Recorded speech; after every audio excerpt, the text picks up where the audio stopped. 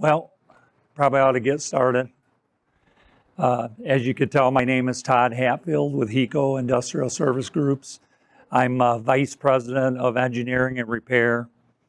Been involved with the company from the time that about 1980 all the way to now. Graduated from college in 1985, electrical engineering. Uh, from that point, I was involved, we had a coil manufacturing division, HECO Coil, was involved with that, managing that, and managing uh, the uh, repair facility and doing engineering. So kind of had, did a lot of things over a period of time. Um, but my background primarily now is repairing, solving problematic motor designs, improving motor designs, uh, giving customers ideas on how to take a problematic motor and make it better. And most of the time, being able to do that with the existing motor. Uh, motor components. Simple construction here. We're showing a basic induction motor, but this model can be used for all sizes. They may look a little different, but they have the basic components. You have a stator, you have the rotor, you've got bearings or some form of bearing, some kind of cooling, uh, some type of a frame. Concept is the same no matter what size. They just look different, but the, the concept is the same. Induction rotor construction. Uh, with an induction motor's rotor, as we talked before, you know, it rotates through induction, so there's no connection to the power supply. Magnetically, we're passing through the air gap. There's no connection to that rotor as an electrical engineer, that excites me. Um, the rotor rotates from induction from the magnetic field, the rotating magnetic field of the stator. The induction is a natural phenomenon, occurs with aluminum or copper that's moved through a magnetic field and the basic construction of the rotor. Again, this will hold true on almost every design other than sometimes the rotors are aluminum, sometimes they're copper. As motors get bigger, they tend to be copper or copper alloy. Uh, but it's uh, essentially the same construction. Uh, different pictures of rotors. This is a uh, aluminum rotor on the top, a copper alloy rotor on the bottom, just showing the two basic designs and constructions. Um, common aluminum rotors, cast aluminum in this case. Uh, common copper alloy rotors, uh, you'll have rotor designs like this up here where the bars are staggered out of the slot, allowing for some airflow, acting like a fan. Uh, this is a large, actually a 5,000 horsepower rotor. Uh, uh then you have a 3,600 RPM rotor, uh, a whole nother beast that rotates at that higher speed. And most of those designs, you have to have some form of a retaining ring to hold the shorting ring from flying apart because of the centrifugal forces. And then another rotor design below here, just to get you familiar with the shapes and design differences. This slide essentially is talking about what actually produces the torque or the torque characteristic of a motor. The rotor is actually what does it. The shape of the bar, the size and the position of the bar in the lamination, the alloy type, conductivity, resistivity, aluminum or copper, essentially copper being the alloys.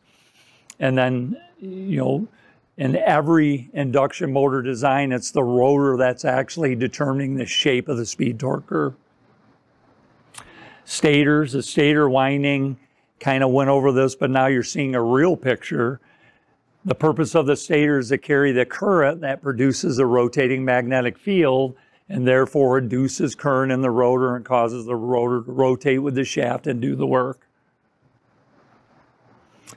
Uh, basic construction, the stator is made up of laminated silicon steel. Uh, the reason for that is if you had a solid chunk of steel with slots, you would have terrible eddy current losses and tremendous heat. They discovered this way back in the late 1800s, and they said, hey, what if we do slices of metal and put it together and they're insulated? And they discovered that the heat dropped drastically to today. We're using high grade electrical grade silicon steel. Uh, so laminations, hundreds and hundreds of laminations stacking that stator together. Uh, and then on the right, you have the stator stacked. In this case, the orientation of the slots are typically cylindrical, like what you're seeing here, but that orientation is there for a reason because it optimizes that magnetic, uh, rotating magnetic field and the, and the efficiency of that rotor rotating. This is a larger stator. We're sampling coils in the stator, fitting the coils. This is showing uh, old laminations and with degraded insulation between them and the need to replace with new laminations and, and some of the process of going through that and restacking. Large induction stators, 5,000 horsepower on the left, uh, 4,000 volt, and a 10,000 horsepower, and that one's 13.2 kV. Just showing you they come in all shapes and sizes, but the concept is the same uh, basic insulation design of all form coils, larger horsepower. You've got, you know, a slot that has two coil halves in it. You've got uh, the, the wire, and then the wire has what we call turn insulation. And then depending on the number of turns, you the wire or the coil then gets wrapped with so many layers of mica depending on voltage. So similar to what I'm showing here, this is actually a 4,000 volt cutaway view of a coil. This one's actually only three turn, but it has six conductors in parallel. And it's mica turn taped. A special application that they required a little more insulation.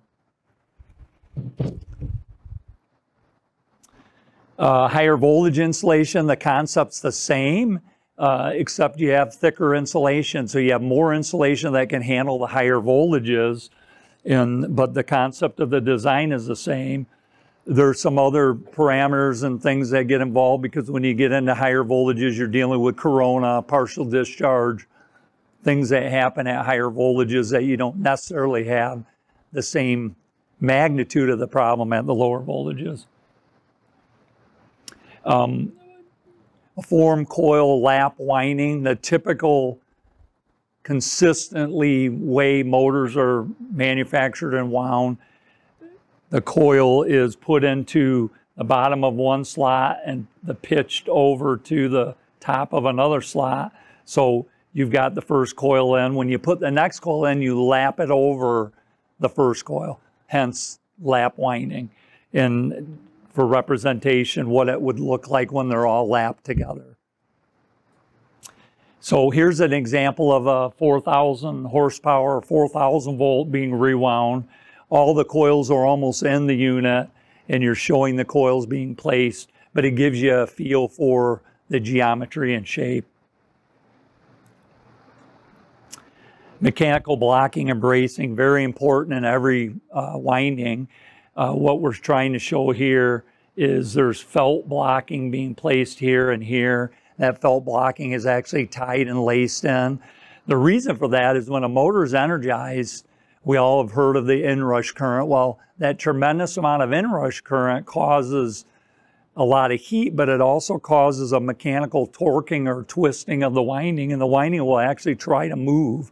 So if you don't block and brace it properly, with a surge rope and so on, that winding will move and fail. So you have to mechanically block and brace it.